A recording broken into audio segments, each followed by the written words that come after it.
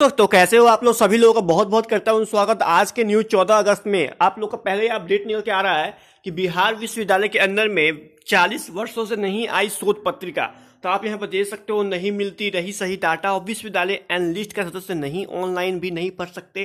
तो 40 वर्षों में उनके यहाँ आप लोग की कोई भी शोध कार्य तो हुआ ही नहीं है। तो ऐसे में विश्व ज़्यादा पिछड़ा पिछड़ना तो ज़ाहिर सी बात है। वहीं बता दूँ कि कल देर शाम आप लोग गवर्नमेंट ऑफ़ इंडिया के तहत में रेलवे की तरफ़ में ऑफिशियल यहाँ पर आई, जिसमें यह कहा गया कि आप लोग की आंसर की अरबी एन का, जो कि आपको सोलह आठ दो हज़ार इक्कीस को चलाएगा।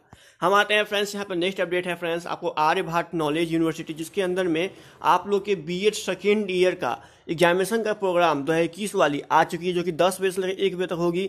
जिसके अंदर में आप देख सकते हो कौन से दिन किस किस पेपर का एग्ज़ाम होगा तो आप लोग डिटेल्स पढ़ना है। तो यहाँ वीडियो को पॉज कर लो, नहीं तो दोस्तों इसमें मैं हमेशा की तरह अपने आप लोग को चैनल पर सेंड कर दूँगा, जाके वहाँ से टेलीग्राम चैनल पर इंस्टाग्राम पर दे सकते हो। तो हम आते हैं फ्रेंड्स, यहाँ पर नेक्स्ट अपडेट है आपका Veer Kunwar Singh university V K के अंदर में। तो इसके अंदर पहले अपडेट है कि आपको वीर कुंवर सिंह यूनिवर्सिटी में स्नातक सेमेस्टर टू उन्नीस से इक्कीस और पार्ट थर्ड अठारह से लेकर बीस तक के परीक्षा के आयोजन के संबंध में नोटिस आई जिसमें यह कहा है कि असाइनमेंट जमा लेने हेतु।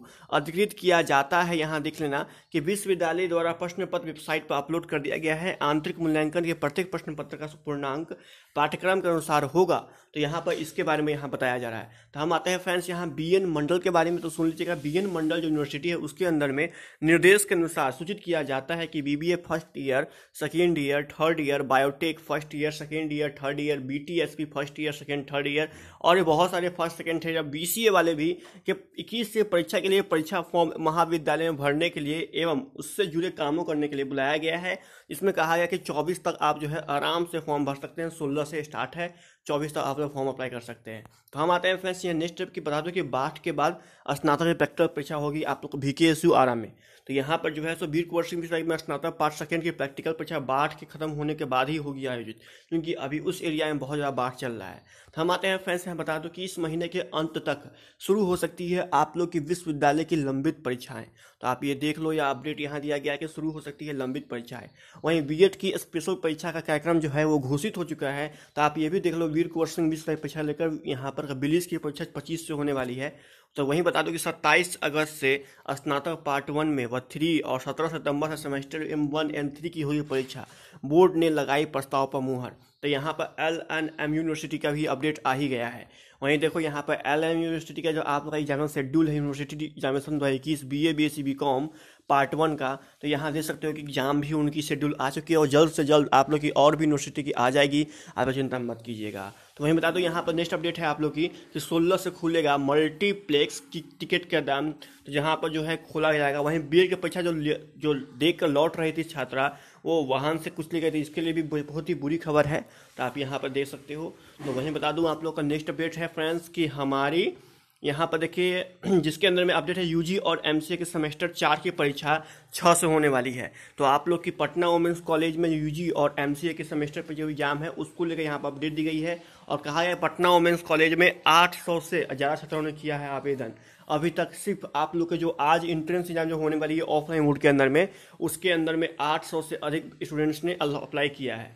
मैंने आपको कल देर शाम पटना वुमेंस कॉलेज के आज होने वाले एग्ज़ाम के बारे में कल ही बता दिया था। तो आपने वो वीडियो नहीं देखी, जाकर एक बार देख के ज़रूर जाना। वहीं बी जो परीक्षा है, उसमें एक हज़ार नौ सौ इक्कीस रहे अनुपस्थित। तो कुछ बच्चे यहाँ पर अनुपस्थित भी रहे, लेकिन कोई दिक्कत है नहीं, बहुत सारे बच्चे आए भी। वहीं अंगीभूत कॉलेजों से मांगा छात्र व शिक्षक का अनुपात। तो आप यहाँ देख लो। तो वहीं बता दो कि नामांकन पोर्टल खोलने की मांग की गई है फिर से। आप लोग मुंगेर विश्वविद्यालय के लिए और डीएसपी जो है सो उसके लिए कहा गया खेल प्रेमियों को अभी देना होगा जन्म। वहीं C A T B Ed जो एग्ज़ाम होने वाला है उसमें तीन हज़ार नौ सौ इक्यासी इक्कीस परीक्षार्थी हुए शामिल और पाँच सौ पंद्रह रहे अनुपस्थित। लेकिन बी एड के एग्ज़ाम का तो काफ़ी अच्छा गया सभी लोगों ने भर भर के एग्ज़ाम लिखा। और काफ़ी अच्छा तरह से लोगों ने यहाँ पर नंबर सबके आएँगे। वहीं पूर्णिया मेडिकल कॉलेज में तीन माह के अंदर होगी दूसरे चरण की जाँच। तो ये भी अपडेट है। वहीं बीएड का प्रवेश परीक्षा रही शांतिपूर्ण एक हज़ार एक सौ छियालीस परीक्षार्थी रहे अनुपस्थित। ये भी अपडेट यहाँ पर निकल के दोस्तों फ्रेंड्स आ रही है। तो बता दो कि आप लोग का नेक्स्ट अपडेट है टी से। तो टी के अंदर में साढ़े दस बजे आप लोग का फहराया जाएगा तिरंगा। और यहाँ पर यह भी कहा गया कि कल आपको जो है पंद्रह अगस्त है, जिसके लिए ज़ोर शोर से चल रही है तैयारी और आप लोग को अभी से ही पंद्रह अगस्त से ढेर सारी बधाइयाँ वहीं जो आप लोग की बी जो होने वाली एग्ज़ाम, उसके लिए संयुक्त परीक्षा, शांतिपूर्ण संपन्न, छियासी पॉइंट इक्यावन प्रतिशत बच्चे अभी तक हो गए हैं शामिल। तो आप ये भी अपडेट्स इसमें यहाँ पर दी गई है। तो मैं बता दूँ आप लोगों को कि बी एड नामांकन जो प्रवेश परीक्षा है, उसमें चौबीस के बदले बीस एम आर का बना दिया पैकेज अब आते हैं फ्रेंड्स यहाँ पर नेक्स्ट अपडेट है। Bachelor of library and information science का परीक्षा कार्यक्रम जारी हो चुका है। तो जाकर एक बार देख लीजिएगा तो आप लोग यहाँ पर एल एंड एम यूनिवर्सिटी से अपडेट यहाँ पर खत्म हो गई। तो हम आते हैं फ्रेंड्स नेक्स्ट अपडेट है कि आप लोग का जिसके अंदर में आप लोग का अपडेट्स निकल के आ रहा है तो यहाँ देखिएगा C E T B Ed में जी एस ने किया सभी लोगों परेशान। और यहाँ देखो किस तरह की भीड़ उमड़ी पड़ी है एग्ज़ाम को लेकर। और कहा गया है कि जो है, सो मतलब जी एस क्वेश्चन है, उसमें सभी लोग परेशान हो गए। वहीं ए पी ओ रिज़ल्ट सुनवाई पूरी फैसला हो चुका है सुरक्षित।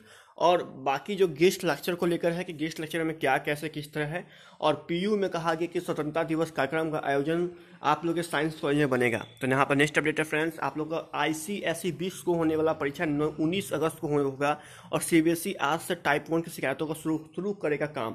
तो ये दो तीन जो है सब अपडेट आप लोग की निकल के आ रही है। वही नीट आज तक खुला रहेगा। आवेदन आज लास्ट डेट है। और थर्ड सिलेक्टर जो सिलेक्टर लिस्ट है, उसमें जारी होगा आज का एडमिशन पीयू के लॉ कोर्स वर्क की परीक्षा सत्रह से अठारह अगस्त को होने वाली है। वहीं नर्सिंग कोर्स में एडमिशन को लेकर अट्ठाईस तक करे आवेदन और सत्ताईस अगस्त तक करे पीजी के लिए परीक्षा फॉर्म आप लोग की पटना के अंदर में, जिसके अंदर में यहाँ पर कहा गया कि परीक्षा फॉर्म जो है आप लोग का, जो फिलअप हो रहा है पटना यूनिवर्सिटी के अंदर में, उसको लेकर। वहीं स्कॉलरशिप आवेदन के लिए पच्चीस अगस्त तक करें सुधार। तो बस यार, यहीं आज करता हूँ stop thank you so much इस वीडियो में आने के लिए। मैं इसी तरह का अपडेट जो है हमेशा आपको लाता रहूँगा। आपको, मैं हमेशा ऐसे ऐसे अपडेट दूँगा जो कि आप लोग को हमेशा बेनिफिट मिले। अगर आप चाहते हैं, इस टाइप कंटेंट आपको हमेशा मिलते रहे, जल्दी से लाइक कर लीजिए शेयर कर लीजिए सब्सक्राइब कर लीजिए thank you so much bye जय हिंद, जय भारत।